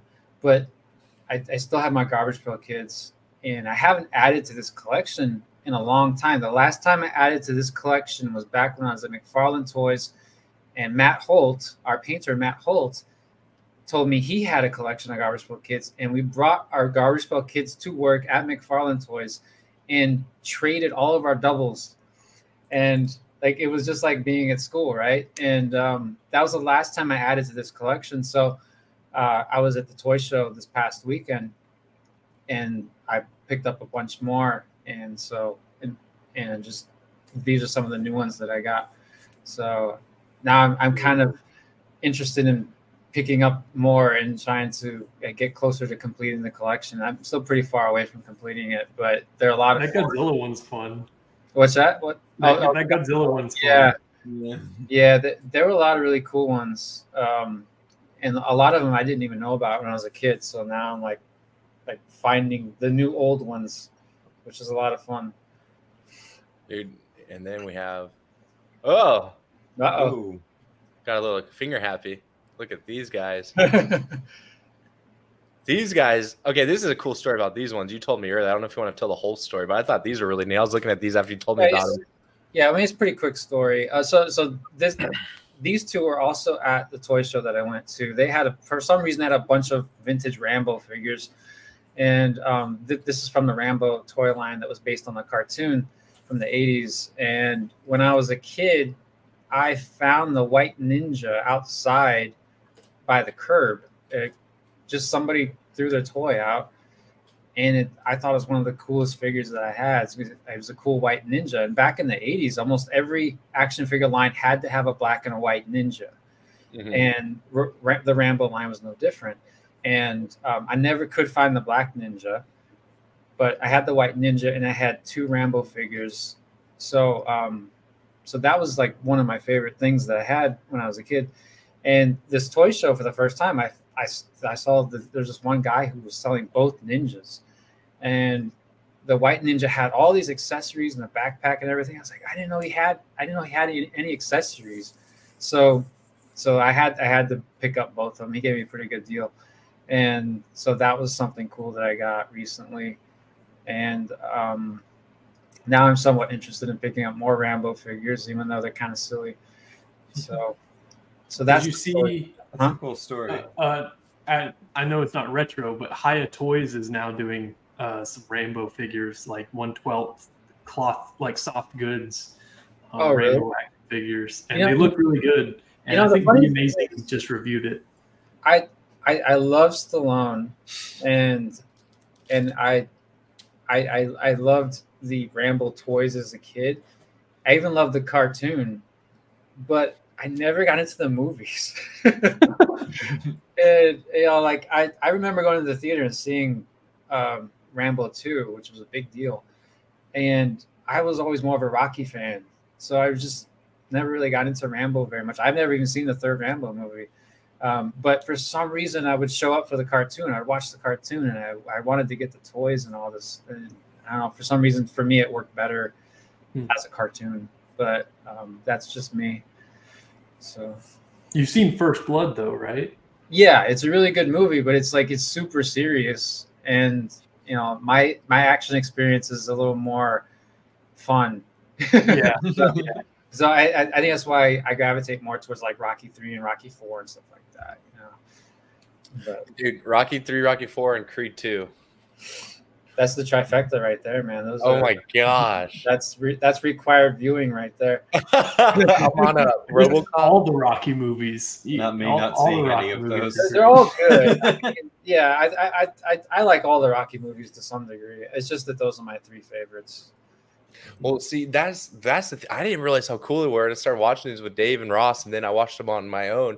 And I, it's weird. It's like they're older movies, but after watching Rocky Four and seeing the cameo, I guess it is, where they go back in time and he's thinking about everything that's happened to him as he's driving. I was like, Um, this makes sense now, That's such an awesome scene. That song is awesome. oh, dude. yeah, All the music's good. It's on my playlist now for the gym. that's Oh, that's good. Maybe now you'll you'll start upping your game in the gym. I'm gonna be buff.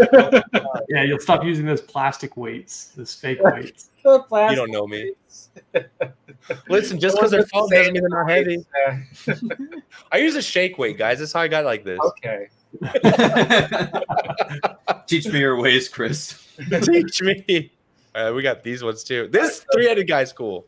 Well, yeah, that's okay. So, so that's my the Man-E-Faces I got recently. I actually have him right here in front of me because he's one of my favorites now. And um, uh, he has, I'm sure, I'm sure some people have probably seen this before, but he's got the little face spin gimmick. That's cool. But this is th- this one's particularly cool because it's based on his mini comic appearance, and I think it's the first time they've actually based a figure on the mini comic appearance.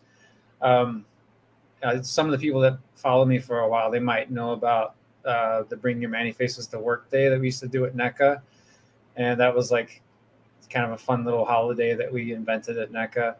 And uh, we all used to bring our Man-E-Faces figures to work. So I'm still kind of picking up the Man-E-Faces figures when when they come out, just for fun. But this is one of the better ones that I've seen. Yeah. This is like a newer like figure based on the retro stuff. Yeah, it, it's part of the Origins line. So so like the origin, the whole concept between Masters Universe Origins is that they take the original sculpts and they kind of resculpt them with articulation and um, put them out, you know, at the same scale. And uh, in addition to doing the original characters, they're also doing like new takes on the old characters, like this one. So, so it's it's been fun to collect that line. I think it's a pretty cool line, and they have a bunch of more stuff coming. So, Is this something that D George is doing? uh, no, no, this is all done in house at, at Mattel, as far as I know.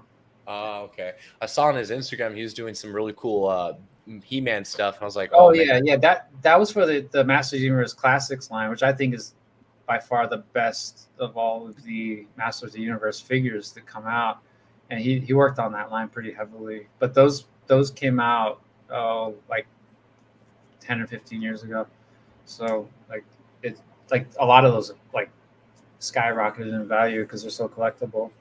they're so cool. Did did you get the Cosmic Legion? Oh, I, I did. I, it's I have it and it's in my my kitchen. yeah, I have it. Yeah, yeah. Chris ha- Chris has it too. Chris, you me- remember that that two pack we got at, at, at PowerCon with with the, with the Green Dragon guy? Yeah, there he is. Yeah, I put a skull on mine. nice. Yeah, I was like, I, I I realized who it was after a minute. I liked his little makeup thing, and I was like, you know what? It needs a dead skull and the space mask because he has many faces.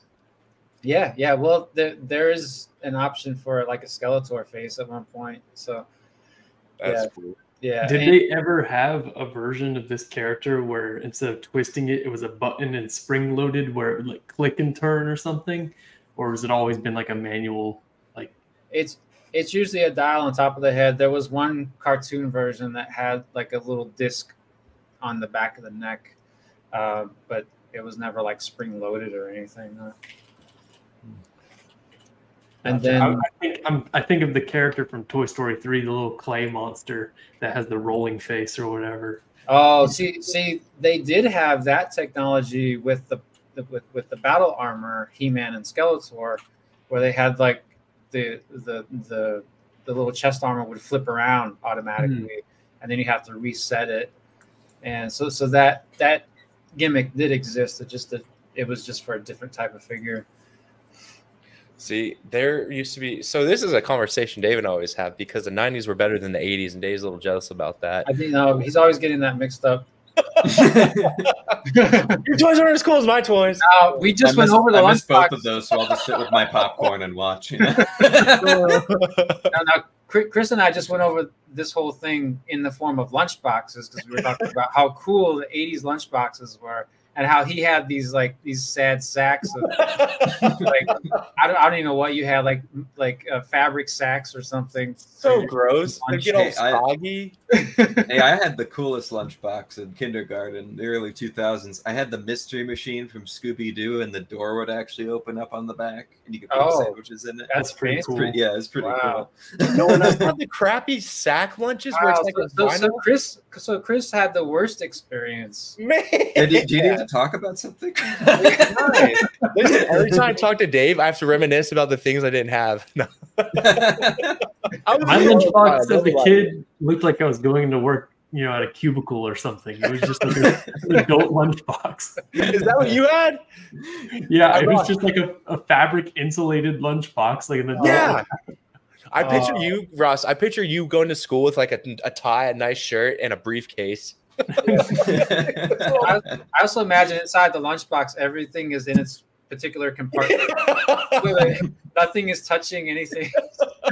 Are really organized. yeah, yeah. hey, Nutty's asking for uh, BOTM lunchboxes in chat. Oh, that's a cool idea. Yeah, Yeah, with the art pieces That would be it. And it could be a figure. It could be the the the cake, the box that the figure comes in, like uh the the And it's- lunchbox. is- is. So it's like a double. So you get a lunchbox and you also get. You- like an figure? exclusive figure. That'd be cool. How did You I could do like an it? exclusive, just like Thermos repaint bottle, inside you gotta the have a thermos lunchbox. bottle in there too. I'm assuming. Yeah. Oh, Oh, that Chris totally missed out on the thermos bottles. I bet. Listen, Mm. I didn't miss out. Mine were just boring. I had literally a thermos with a cup lid that you used as a cup, and it was horrible. And I'd forget to wash it out, so it'd be slimy and greasy from the stuff. Okay, before. that, that that's a you problem at that point. Uh, Oh my gosh. Yeah, dude. Lunch boxes, you guys. okay, Hey, we should seriously look at this. put it put it on the list. That'd be cool. See, No, be done we got about books. Yeah. Did we Speaking tell of art, um, have you thought of doing like poster prints of the art pieces for the the packaging? Because I think I would love to frame some of those and have them on. You know. I'm I'm I'm looking into finding a way to like have an on an, a print on demand uh, store, so that you can like you know like have stuff printed on mugs or like posters or shirts and stuff like that. Like it's it's it's it's a little too much for me to have on hand and then like to ship out and all that stuff. But if if there's like a print on demand situation, that's ideal because then people can get the products that they want, but I don't have to store it and ship it out. So so that's way more variety with that. yeah, yeah, we have a lot of variety, and um, like I mean, there's there's a lot of services that do that now. So that's one of the things I'm going to be looking at this year. I think I've talked to Chris about it already, and uh, like we're gonna see what we can do. So, cause I, I think it'd be really cool. Yeah, see that like this comment here. Yeah, yeah, it's Yeah. Yeah, see, I Oh, there think he that- is. Yeah, sorry, I had knocks, you guys. Sorry, my son came in here and he was running around going to spend night at his aunt's house, so I had to give him a good night kiss. Sorry. Oh, Oh. and he stole my dinosaurs, so I'm gonna go beat him up later. Aw. But no, like, uh, sorry, what were we talking about? Oh, we're, we're talking. I, I was I was telling about the print on demand. I, I, I think you talked about this, right? yes. Yeah, like like we want to find a way to, to do print on demand merchandise for Beast Mhm. Mesozoic and Cyberzoic, and um, yeah, so that hopefully we can get that going by the end of the year. I, You know, I, we I haven't try. put a lot of time into that. I have to admit, it's just a thought right now. So listen, I will. just raise your hand. I- I'm right here. Call You me. will- Teacher David, teacher. Listen, I'm gonna jump on that, and I'm gonna try to have some stuff set up for this this uh because we're gonna be here at Palooza, June May 20 something. Oh yeah. So yeah, so it's the date. I'll tell you guys the date in a second. Twenty something. Yep. Something it's like that. So I didn't Ross know and I will be there. Kickstarter update. I mentioned it. Oh, what happened? I, I mentioned the the Comic Palooza. Oh yeah. yeah in, in, in the last kickstarter update that i did yeah it was it was um, pretty recently Palooza. Yeah, it was. I remember seeing it. So it'll be in Houston. hmm When is it in 2024? May 24th through the 26th, you guys. There you And go. so, you know what I'll do is I'll actually see if we can get some shirts and stuff, uh, so that people who show up to and want a shirt, because dude, there's so much cool art from Cyberzoic already.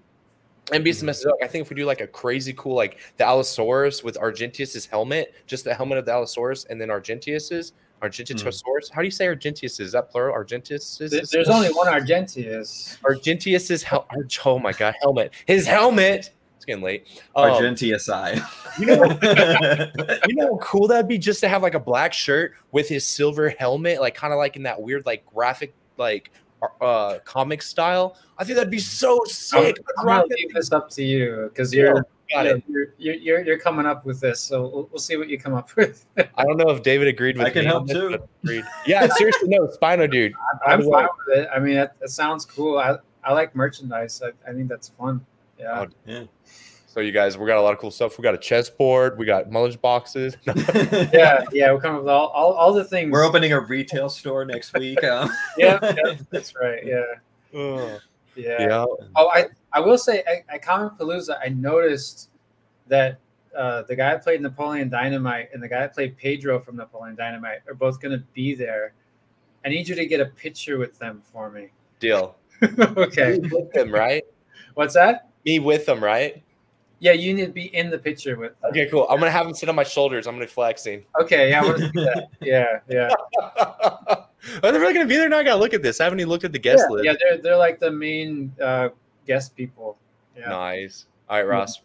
I'm gonna leave you alone for three hours while I sit in line to get those pictures. Probably a good thing. oh, Dave, No, he might not come back to uh, Florida, so I hope Steph sees this because you're gonna disappear in Texas, Ross. No, we need him for for Cyberzoic too. You know, Uh, I want you to know, Ross, if David wasn't protected, you'd be dead. No. no, but I will say his, his hands are off limits. I told him about that. I told Ross that. I go, he said, I can't hurt your brain. I can't hurt your hands. Yeah, But the rest of you. Oh, gosh. I gotta make it to one of these conventions this year. Dude. Um, they They're look- they look like a lot of fun. yeah, yeah, definitely. Yeah, Dude, it's so fun. I'm looking forward to uh to uh was it Joe Fest? We're doing Joe Fest together. You know, it was funny. I, you've been getting Georgia, it right? wrong every time up until now that I almost corrected you and said Joe Con, but that's what you would normally say, and it's actually Joe Fest. Well, I'm, my, Uh, my brain is still adjusting to not doing PowerCon and doing Joe Fest. So my brain is like somewhere in between half the time where it's like we're doing Joe Con. Oh no, wait, it's Joe Fest. And Yeah, yeah. I'm So excited for says BOTM toilet paper wipe like a dinosaur. There you go. no, if you're a T Rex, that'd be horrible. that would be horrible. Oh Jeez. Yes. Oh, but by Joe the Fest way, is in Georgia, right? what's that? Yes. Joe Fest is Georgia. Yeah. Oh yeah, Maybe yeah. we aim to go for That's that. in Georgia, yeah. Forgot Yeah. we were presenting that face guy. Which one? Uh, Man-E-Faces. Oh yeah, yeah. We got. Oh, we ne- we never talked about the. uh Oh, the yeah. The elephant guy. Yeah. I mean, there's not a big story behind that. It's just something I bought recently. um, yeah, that's another He-Man character that was that was available online for like a few hours. So That's cool. yeah, he's really cool though. He's he's he's based on a vintage character that I used to like when I was a kid. Um, still like. Snout He Spout. is cool. I think did George did this for that line we were talking about too? Did this guy? Did he work on Snout Spout? I don't. I think he I don't did. For sure. I mean, he worked on so many. Um, it's possible George worked on it. If he did, I'd like to see that because I think it would be a really cool. Yeah, pull it I mean, up. they- Style. they they they did like the main version, and then they did like a like an alternate head at some point that was more modernized. Hold on, I'm gonna pull up his thing. Dinosaur toilet seat with teeth. Yeah. With how often I use the bathroom, I don't think I like that. I Yeah. don't like that that comment's highlighted. That doesn't sound very comfortable. I don't like that it's covering my face too, Chris. Thank you. I forgot I clicked on that. I'm sorry, you guys. oh gosh. All right, get, here we go. Here's the George. Man, this guy is so talented. I know. He was just here. We were just hanging out this past week. I know. He told me. I was like, hey, next time you see Dave, give him something you've given him before. Oh, maybe it wasn't the the. I was. I think it's this guy. Let me see. yeah, he's, he's got he's got so many cool pictures of his work. Man, he is. It's crazy to think he does this in clay. Too. I mean, you do stuff in clay as well, but it's like Oh yeah, his stuff is like super technical though. I mean, it's like super clean. Like it's I don't know anybody that can do it that clean. oh wow. Oh, Oh yeah, remember Tuscador. Yeah. Let's see, I'm That's trying to crazy. find- I'm, I swear he has it in here because he did the gargoyle line, and I have all those. yeah, yeah, he did a lot of the gargoyle stuff for NECA. And he did the um, you Tyrannus or the Dryptosaurus armor, Dryptosaurus. Yeah, he, he did the Dryptosaurus Dryptosaurus. armor. Yeah, yeah, Yeah. which was cool because when he was over here the first time, he got one. to see that painted up in person. That's Oh, nice. insane. Yeah. What do you think? I, he, he loved it. I mean, he he was he, he likes all of them, but yeah, yeah. I mean, that was cool that he he was involved with that. Dude, he is that is that guy is nuts. He's such a dude. He is a real life character, like in a way. He's he's larger than life when he presents himself. We got to meet Ross and I met him with Dave uh, and uh, Garrett when we were in uh, was at Manhattan, New York. Yeah, Cool dude. yeah. That, that was really cool. I'm glad that worked out. I'm so happy that worked out. It was a lot of fun. Yeah, if if you could, if there was a cartoon character that all day sculpted and invented toys, he would be the design of that character. he just visually has that whole like, know, just very much a character.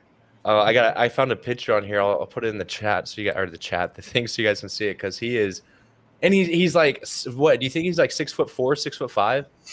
Um, I don't know, probably around six feet, maybe. Really, dude? He seems so big. sure. Hmm.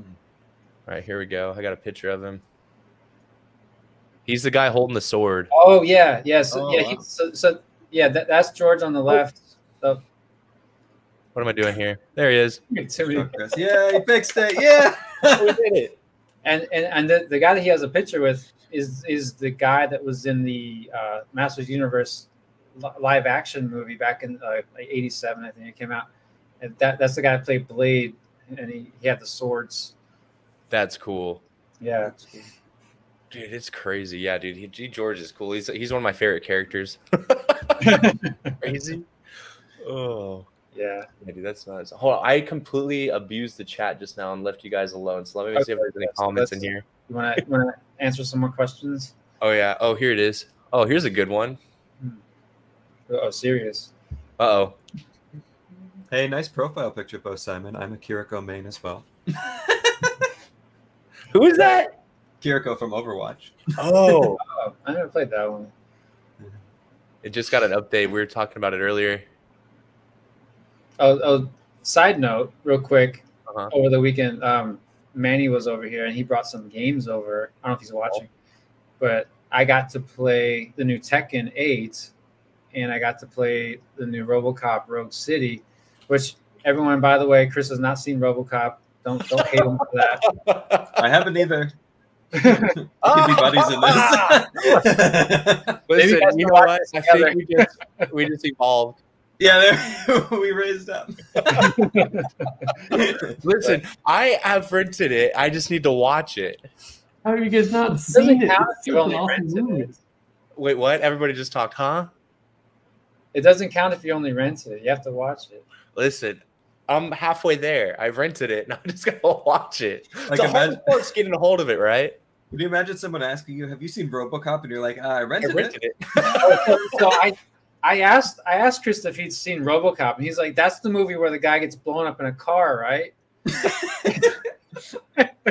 I mean, was I wrong? That could either be RoboCop or about all of the- the Transformers he's movies. talking know what I well, he, he's talking about the remake of RoboCop that came out a few years ago, and Oh, you know that's I never not, saw that one. it's it's not the same quality. no, Like you don't know. I don't know. I was like, well, you know what I should have done is I should have started pretending like I saw it and started giving you little scenes from Iron Man. I would have enjoyed that. oh yeah, he's got the thing in his chest. It powers his suit. Yeah, and he fights the big robot at the end. Yeah. oh yeah. Yeah. So I get okay. So I answered the question. Oh, whoops. Um, oh, we're not there yet. uh, there's uh, I now I might be pronouncing this wrong. Nanukosaurus. Nanosaurus, yeah. Yeah. that's happening. Yeah. Uh, Ankylosaurus. I know- that's the only other one as far as tyrannosaurs go. That I mean, that in the Alioramus, what I mentioned earlier. Um, I hope it's super fluffy. I can't. like, I can't even think of how many other ones there are outside of what's the big, like the real big one that's like T Rex, but it starts with a Z. Spinosaurus. Zhuchengtyrannus. Zoo, Zoo- I'm not even trying to say that. Yes, that one. How do you Uh, spell that? it's oh my goodness, how do you Zhucheng spell? Tyrannus. A Z H U C Oh, I found it. H Yep. E N Y. Oh, So this is a cool picture too. I would like to work that in at some point. It's like Uh, the Devaho. Ideally, I would like to share a body with the Tyrannosaurus Rex, but I don't know if that's too big for that species. Whoa. It might be a little big. I um here's a kind of an extension of that. Um are you considering doing like a full grown Tarbosaurus that's more in line with the the T Yeah, you know, I, I just thought of that. Like, I mean, that that's possible. Like, maybe those two could share a body, maybe. Um, yeah. But but see now the issue happens in that case. Ross. Okay, so so do we continue doing tyrannosaurs or do we do uh like hadrosaurs or do we do ankylosaurs? You know, 'cause- Like- because like that that's always kind of the debate. Like we could go more in this direction, or do we start filling in the gaps that haven't even been served yet? And like like that's like to me, it's more interesting to put out something that's completely different instead of something that's similar. Uh, as much as I would like to do all of it, um, like that is a like a big body. That's a big expense that we could like do an ankylosaurus or something like that instead, or or a Parasaurolophus. And you know, to me, I think that would make the line more uh, diverse as compared Yeah. to something that like 90% of the people are going to confuse with a T-Rex. Yeah. So, um, like all of it's possible, but it's more appealing for me to do something that's completely different than something that's a tiny bit different. I think Yep. these are really um are really cool to like fill in as new stuff is coming out just to like get kind of like a, a new color scheme and to just like have that new species represented in some capacity because you have so many obscure ones it's really cool No, I mean it's yeah. I mean it's it's kind of overwhelming all of the possibilities. Really, like when you really get into each family. I mean, there- there's like maybe two or three from each family that a lot of fans have heard of, but then like there's a bunch of obscure ones too, and they're all cool. They could all make for great figures. Um, but now that we're kind of going in this direction of cyberzoic and exploring this world of diverse creatures, I'm becoming more interested in diversifying both lines more now with BOTM and Cyberzoic. So Yeah.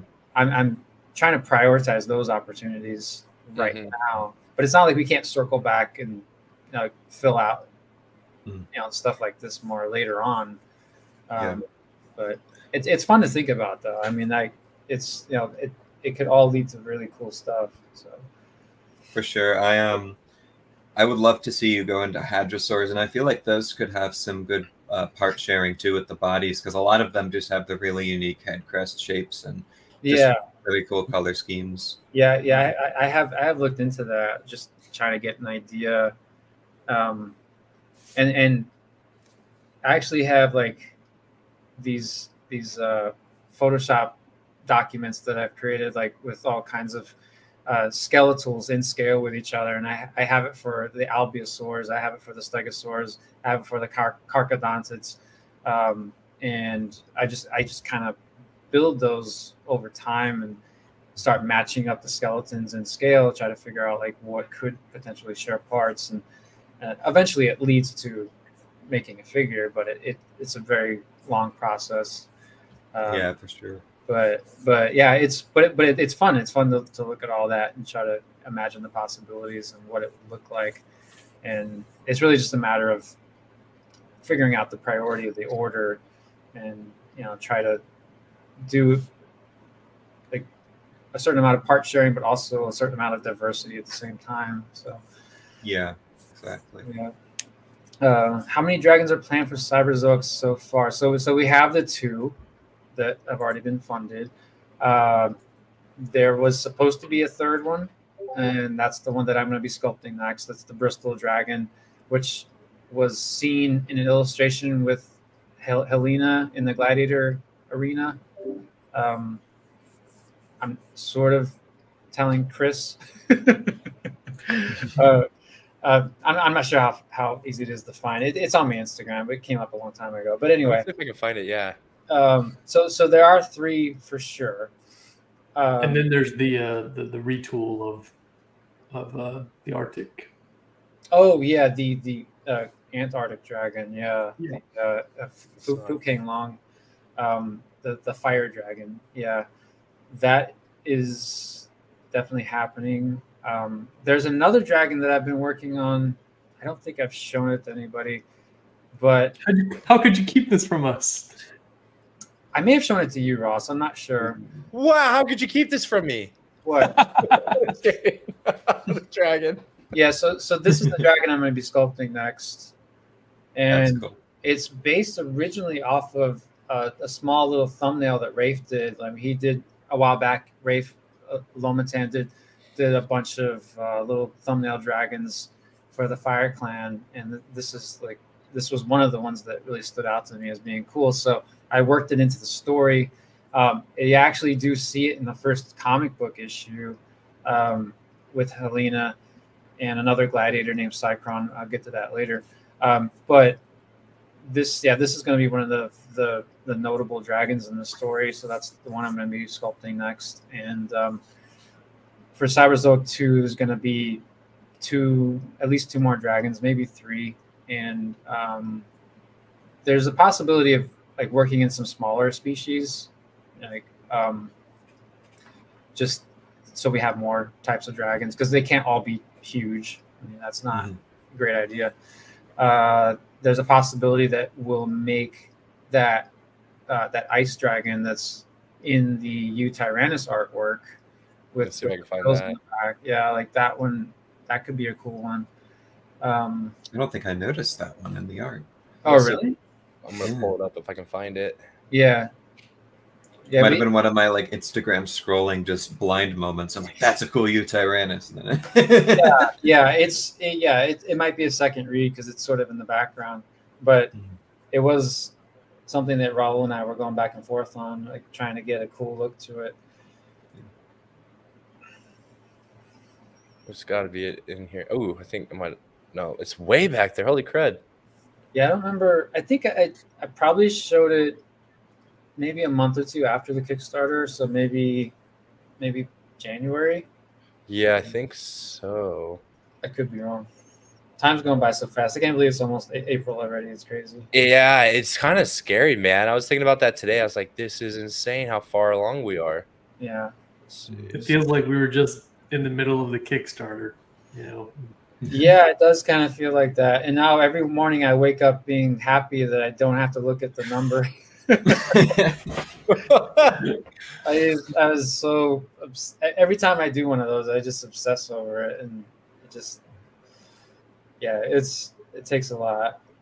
we we were obsessing over it every every night. You know, instead of watching TV, you Oh know, yeah, chilling out on the couch, Steph and I would be sitting there just like refreshing, looking at the Oh. comments, looking at the number go up and down and fluctuate as people changed. oh We were man. getting, we were going crazy. yeah, yeah. My my confidence would depend on the number. if it makes you feel any better, I was also stressed about. I remember, well, not stressed, but really engaged with, uh, especially the Ceratopsian one, because the Tyrannosaur, the the Cyberzoic Kickstarter, like just kind of shot up right away. But Yeah, Ceratopsians, I remember going back every night after I got home from work and sitting down with my friends, and we are like, "Did we unlock like the Cosmo yet, or something?" Oh, We'd yeah. sit down and look at it. yeah, yeah, yeah. That was an That was interesting experience. Yeah, and you know, one of the things that I think a lot of people don't know about the Ceratopsian and Kickstarter was that even though it was the lowest funded, I, I, I might be wrong about this, but I'm pretty sure it had the most funding on BackerKit That's Like- crazy. of, of everything, and um, like it did really well after the Kickstarter, and um, it, you just you just don't know how these things are going to work out. I, I was I was a bit disappointed, to be honest, about how how it went because I had high hopes that the Ceratopsians would outdo the Raptor series because obviously you want to keep moving upward, um, but then it kind of blew up afterwards. So that was really cool. You just you just you know you just keep putting it out there and you know see what happens. But Yeah. oh, Chris, you, you you can take down this question now. Oh, sorry. What are we doing? Oh, I, Yeah. I was enjoying hiding there for a minute. Liz, Who are you? No. I was gonna say, you guys, we are an hour and forty-five minutes in. I yeah, we'll probably wrap it up next, like, yeah. yeah, next time. So if you guys have any questions, shoot them out there. I was unable to find the picture of it's the Yutyrannus, right? With the dragon. Um, Yeah, yeah. The Yutyrannus, uh, yeah, it, it has the armor and snow. Yeah, I can't find it. that's okay. Let's just take one more question and we'll we'll, we'll call Wrap it. It a up. night.